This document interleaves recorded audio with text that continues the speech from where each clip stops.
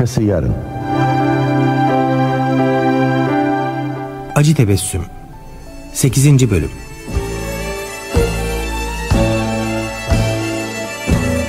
Yapım Mehmet Köseoğlu. Yazan Seçkin Başkan. Uyarlayan Tayfun Türkili. Seslendirme Yönetmeni İskender Bağcılar. Kayıt Montaj Didem Türkmen. Program Yönetmeni Erol Güldiken.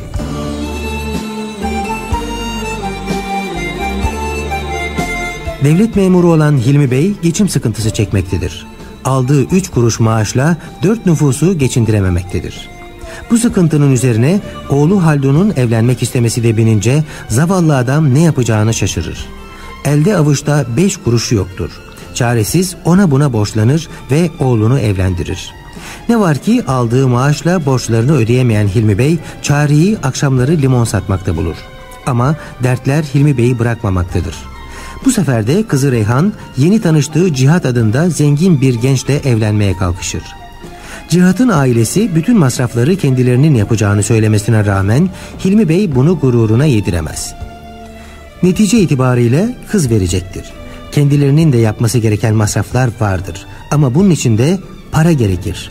Oysa Hilmi Bey oğlunu evlendirirken aldığı borçları ödeyememiştir daha ve kara kara düşünmeye başlar.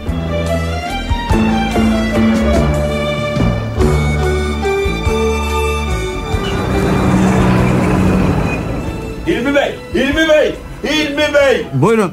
Aa, ev sahibiymiş. Hayırdır Kazım Bey? Oğlunu evlendirmişsin, hayırlı olsun. Sağ ol Kazım Bey. Kusura bakma, sıkıntı içinde olduğunu biliyorum ama... E, yani üç aydır da kira verdiğin yok birader. Biliyorum Kazım Bey, biliyorum. Ama ne olur biraz daha müsaade et. Oğlanı evlendireceğim diye gırtlağa kadar borca battım. En kısa zamanda. Tamam da Hilmi Beyciğim, ben de sizden aldığım kirayla evimi geçindiriyorum. Haklısın, haklısın. Lakin Ama yani haklıyım, haklıyım da hak değirmende olur. Bu işte böyle gitmez. En kısa zamanda birikmiş kiraları ödemenizi rica ediyorum sizden. Lütfen. tabii, tabii kusura bakma. Bak, bak bir dahaki gelişimde paramı isterim ona göre.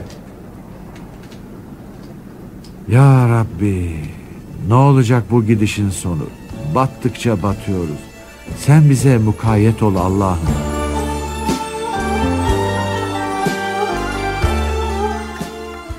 Ev sahibi üç aylık ev kirasını istiyor Nazmiye.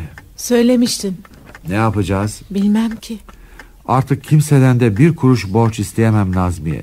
Borç gırtlağı açtı. Ödemek için var gücümle çalışıyorum ama limon satmakta meseleye çözüm getirmiyor. Ah, ne yapabiliriz ki bey? Yapabileceğim bir şey varsa söyle de yapayım. Allah senden razı olsun hanım. Ne yapacaksın sen daha? Bu yükü sadece ikimiz çekiyoruz ama görüyorsun işte altından kalkamıyoruz. Haldun'la bir konuşsam diyorum. Borçları ödememize yardım etse. Aman bey, Aynur ne der sonra? Ne derse desin hanım. Bu evde onlarla birlikte yaşıyoruz ama üç kuruş bile yardım ettikleri yok. Halimizi görmüyor mu bu çocuk? Öyle de biliyorsun işte bey. Sonra oğlan huzursuz oluyor. Şimdi de Reyhan'ın evlenme işi çıktı. Turan Bey elini hiçbir şeye sürme. Bütün masrafları ben yapacağım diyor ama nereden bakarsan bak bizim de bir şeyler yapmamız lazım. Böyle üstündekiyle kız mı verilirmiş? Benim şerefim ne olacak? Düşünme bey. Düşünüp de canını sıkma. Allah büyüktür. Öyle öyle ama Ah çocuklar geldi. nereye gitmişti ki onlar? Ha, eğlenceye gittiler. Cihat davet etti. Ya Selam. Ay bu gece ne eğlendik ne eğlendik. Ay Reyhan aferin iyi koca bulmuşsun kendine. Maşallah eli çok açık Cihat'ın. Aa, bu da bir şey mi yenge? Onlar da para küfeyle küfeyle. Ben yoruldum uyumaya gidiyorum. Hayrola baba seni sıkıntılı gördüm. Yüzün asık bir şey mi oldu? yok bir şey oğlum. Sonra konuşuruz. Yoksa sıkıntınız yine para mı? Öyle mi baba? Sıkıntın para meselesi mi? Üç aylık kira birikti oğlum. Ev sahibi Kazım Efendi bugün yolumu çevirdi. İyi ama neden üç aydır kirayı vermedin? Yoktu ki vereyim oğlum. Senin senetlerin vardı. Benim sağdan soldan aldığım borçların ödemeleri vardı. Ay onu da mı başımıza kakıyorsunuz? Aşk olsun yani. Tabii ki bir baba olarak oğlunuzun ihtiyaçlarını vereceksiniz. Kızım senin bu işlere karışman doğru değil. Ben oğlumla konuşuyorum. Ne demek? Haldun benim kocam. Onun parası benim de sayılır. Hem bizim almamız gereken ihtiyaçlarımız var. Söylesene Haldun tam sırası işte. Şey... Hayrola oğlum bir şey mi söyleyeceksin? Pısırıklaşma da söyle Haldun. Tamam Aynur. Baba biz... Evet. Biz artık buradan ayrılıyoruz. Bir ev tuttum. Taşınıyoruz buradan. Aynur da ben de kendi evimizi bilmek istiyoruz. Hem böylece siz de rahatlarsınız. Biz neden rahatlayalım oğlum? Siz bizim sırtımızda kambur musunuz ki? İyi de Haldun'um tuttuğunuzu evi neyle döşeyeceksiniz? Ne yapacaksınız? Annen doğru söylüyor. Neyle eşya alacaksın o eve? Ben de sizden bunun için biraz yardım isteyecektim baba. Ne? Ne dedin? Yardım mı? Yardım Hilmi Bey, Hilmi Yardıma. Bey iyi misin? iyiyim hanım iyiyim. Çok iyiyim. Bunda bu kadar gülecek ne var anlayamadım baba. Böyle söylediğim için alay etmen gerekmezdi. ya demek alay etmem gerekmezdi ha. Demek sana karşı ayıp ettim öyle mi?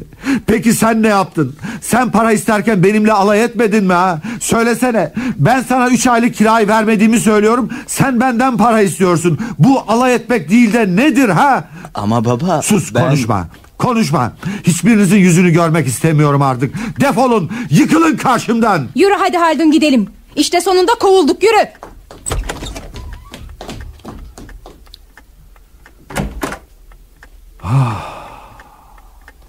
Görüyorsun işte Nazmiye Hanım. Sonunda sinirlerime hakim olamadım. Ne yaptın bey? Kovdun onları. Ya giderlerse? Bırak giderlerse gitsinler hanım. Ne isterlerse yapsınlar. Ne yapabilirim ki? Gördün işte. Hiçbirinden hayır yok. Çalışır çabalar borçları öderim. Bırak da gitsinler. Bir yararları yok. Zararları da olmasın bari.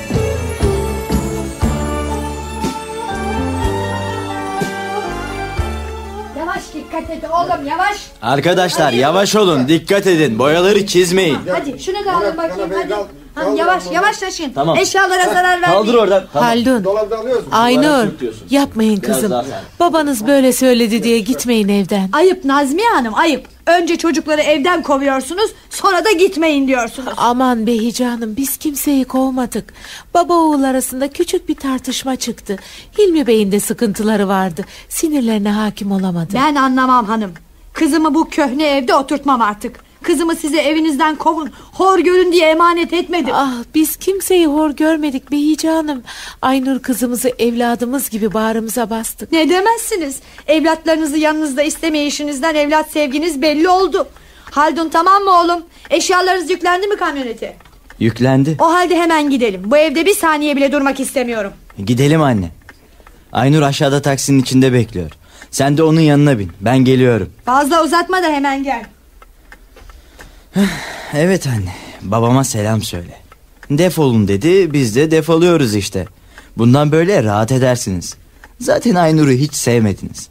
Bu yüzden sizlere çok kırgınım. Bir daha birbirimizi aramayalım.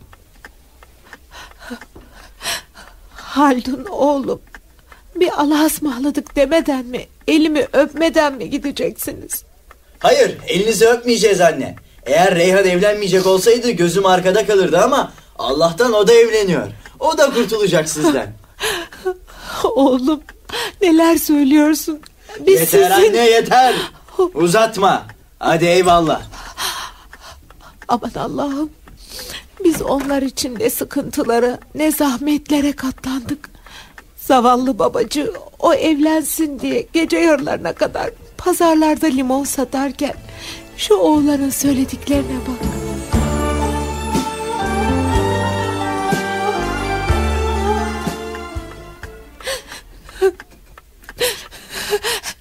Gittiler bey, gittiler. Gittiler mi? Ne zaman? Bugün eşyalarını da götürdüler. Yeni evlerine taşındılar. Ya Allah mesut etsin. Giderken oğlan bir daha bizlerle konuşmayacağını söyledi. O öyle söyleyince yüreğim öyle bir yandı ki Hilmi Bey. Biz ona iyilikten başka ne yaptık ki? Onun yüzünden ele güne borçlanmadık mı? Sıkma canını hanım sıkma. Konuşmazsa konuşmasın. Yaptıklarımızı o bilmese de Allah biliyor ya. Hele Aynur'un annesi Beycanım ağzına geleni söyledi. Yerin dibine soktu beni. Boş ver hanım. O kadının demesiyle de yerin dibine girmezsin. Vicdanın rahat değil mi senin? Ben de biraz sinirli davrandım o gece ama ben babayım ya. İki laf söyleyemeyecek miyim çocuklarıma? Hem ben onu evden kovmadım ki. Karşımdan defolun dedim. Öyle değil mi? Neyse sil şu gözyaşlarını da üstüne çeki düzen ver. Biliyorsun bu akşam Turan Beyler Reyhan'ı istemeye geliyorlar. Bir bu eksikti. Görüyor musun hazırlık yapmayı unutmuşum. Merak etme ben pasta aldım gelirken.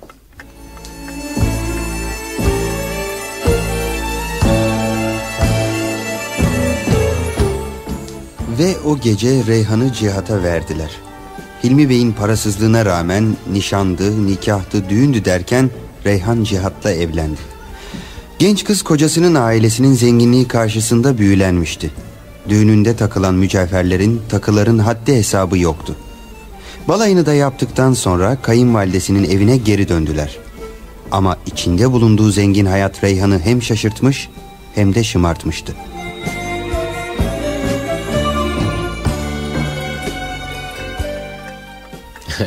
E hanım çocuklar balayını bitirip eve geldiler.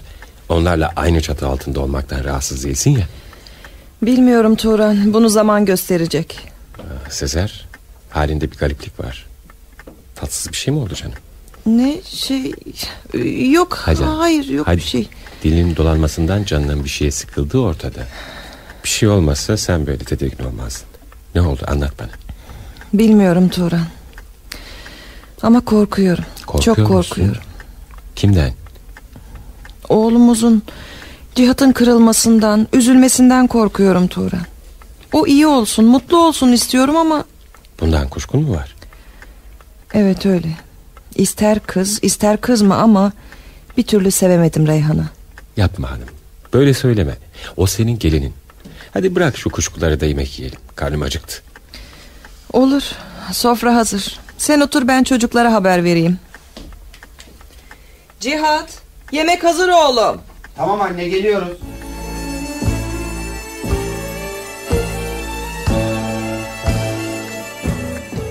Hadi Reyhan.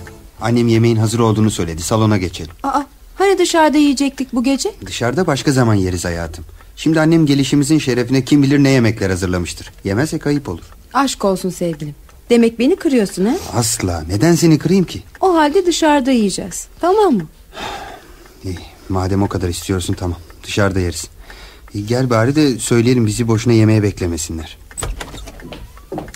Afiyet olsun. Buyurun çocuklar sofra hazır. Reyhan sen şöyle geç kızım. Cihat sen de babanın yanına otur. Şey biz Reyhan'la dışarıda yiyeceğiz. Aa, e, ayıp değil mi oğlum? Ben sizler için birbirinden leziz yemekler hazırlamıştım. Evet ama biz de daha önceden dışarıda yemek yemeye karar vermiştik. Ha, madem öyle neden bunu bize daha önce söylemediniz? E, öyle ya ben de uğraşıp yemek yapmazdım. Kusura bakma anne. Bak oğlum sen de dinle kızım. Madem ki bu evde birlikte oturacağız. Burada yaşayan diğer insanları yok sayamazsınız. Buna izin veremem. Eğer burada oturacaksanız benim kurallarımla yaşamak zorundasınız. Bunu sakın unutmayın. Hadi şimdi nereye giderseniz gidin. Affedersin baba. Hadi Cihat gidelim. Sıkma canını kardeşim. Gel yanıma otur. Yemeği birlikte yiyelim.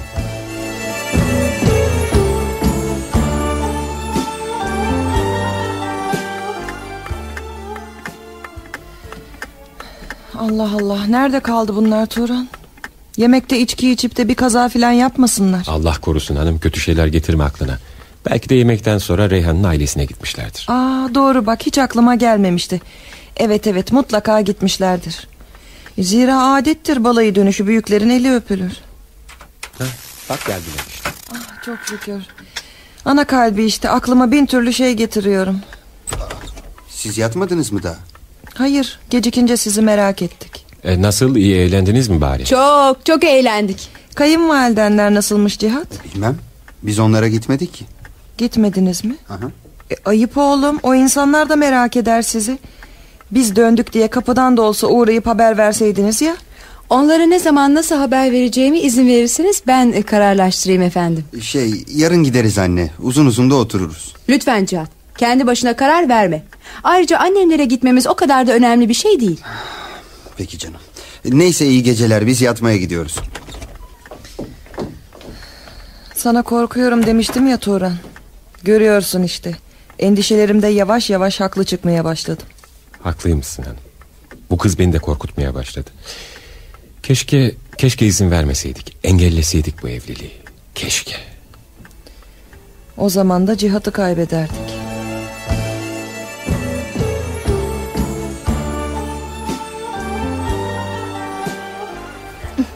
Kesene bereket Halduncum. Yemek için teşekkürler. Balık harikaydı. Afiyet olsun Aynur. Böyle sık sık dışarıda yemek yiyelim olur mu kocacığım? Tabii tabii. Haydi limon var limon. Sulu yatak limonu var. Aa, yatak limonu. Aman Allah'ım limon Haldun var, şuraya limon. bak gözlerime inanamıyorum. Ne oldu Aynur? Aa, şu ileride limon satan adam senin baban değil mi? Ne? Nerede? Balık lokantasının önünde baksana. Limon var limon. Allah'ım evet. Evet o. Babam bu. Limon satıyor. Ayol senin baban nüfus müdürlüğünde memur değil miydi? Bu ne şimdi böyle? Allah kahretsin. Olacak şey değil. Gidelim buradan Aynur. Çabuk gidelim. Bu iğrenç ve rezil manzarayı daha fazla seyretmek istemiyorum. Demek babam pazarcılık da yapıyormuş ha. Pes doğrusu. Vallahi Yatak pes sulu Hiç utanmıyor mu limonu. adam ayol? Nasıl yapar bunu? Nasıl yapar? Tamam üzülme hayatım. Gel Reyhanlara gidelim orada biraz laflarız. Olur. Gidelim.